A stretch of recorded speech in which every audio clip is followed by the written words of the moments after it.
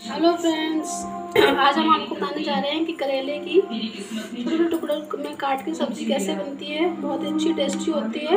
तो ये पाँच छः करेले थे जो मैंने छोटे छोटे पीसेस में काट लिए हुए हैं और इसमें एक आलू मैंने काटा हुआ है। तो ये हमें काट लेना है और हमें दो बड़े प्याज काट लेने हैं। और दो कट करने के बाद हमें इसमें आगे हमें कढ़ाई में थोड़ा तेल डालना है और तेल देखिए हमारे से डाल चुके हैं और हमने थोड़ा तेल गर्म कर लिया है। थोड़ी सी मेथी डालनी है ज़्यादा नहीं, बस चार पाँच धने डालने हैं। थोड़ा सा जीरा डालना है। और देखिए हमारा तेल गरम हो गया है तो उसको ब्राउन होने तक हमें थोड़ा सा पकाना है। और हमें इसको थोड़ी सी डालनी है हींग। देखिए हींग डाल दी चुटकी भर। और उसे ब्राउन हो गया है तो उसमें हम प्याज डाल देंगे ये देखिए हमने दो अनियन काट के रखे हुए थे हमने डाल दिए हैं। और हमने हाँ, जो अभी डाला है ना हमने वो हमें ज़्यादा पकाना नहीं आधा कच्चा ही रखना है। ये देखिए।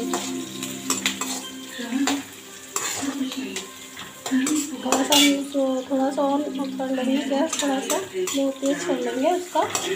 और हमें को कच्चा रखता था पकाना नहीं कच्चा रखना है। आँगन को ज़्यादा पकाया नहीं है। और उसमें जो हमने काट के करेले के टुकड़े और आलू के टुकड़े रखे हुए हैं, वो हम कढ़ाई में डाल देंगे। ये देखिए।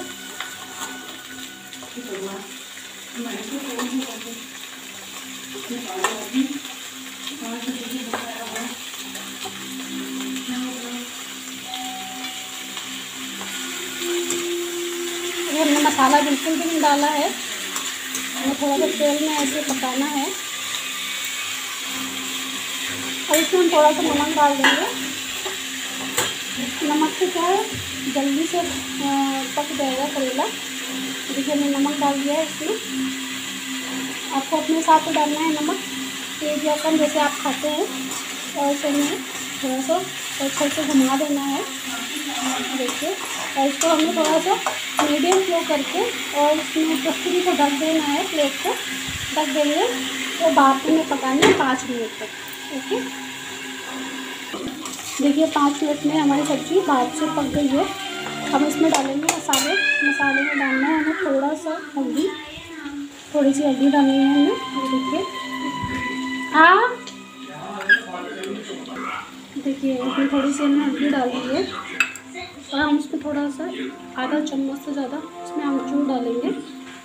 अमचूर खटाई, किसी भी खटाई होती है हमें वो डालना है। और हम थोड़ा सा धनिया डालना है, पिसा हुआ।